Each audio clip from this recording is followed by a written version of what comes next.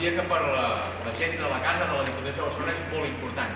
Aquesta feina, aquesta tasca, aquest voluntariat que heu fet, que ha provocat doncs, que puguem, doncs, a través d'aquesta proposta també de que la Diputació hi col·labori afegint una part també del heu recollit, doncs que podem donar amb el banc d'aliments una gent que té una feina extraordinària. Tant de bo aviat això s'acabi la feina, perquè això seria la millor proposta, la millor solució, la millor notícia eh, a les dinàmiques que malauradament al llarg d'aquests anys de crisi hem hagut de viure i sense la qual la vostra intervenció no s'hagués sigut molt pitjor. Per tant, primer tot, gràcies. Gràcies a vosaltres per ser-hi.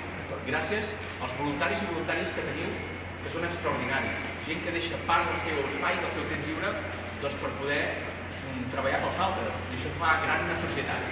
Catalunya és un dels països que més voluntariat té i per tant hem d'estar orgullosos d'aquesta societat que tenim. I especialment jo vull fer una menció als eh, voluntaris de la Diputació de Barcelona, els treballadors i treballadores que s'han dedicat doncs, a fer aquest projecte possible i que avui podem fer doncs, aquest traspàs doncs, de donar aquests aliments al banc de l'Índia. Per tant, moltes gràcies als que ho heu fet possible, de veritat que no s'entén un país i una societat sense gent com vosaltres i lamento doncs, que no hi hagi més gent perquè m'agradaria que els poguéssiu transmetre els que no puc venir en nom meu, en nom de la Diputació de Barcelona doncs, l'agraïment pel que feu i espero que continueu també durant molts anys fent servei a aquesta institució però també a la nostra societat. Moltes gràcies.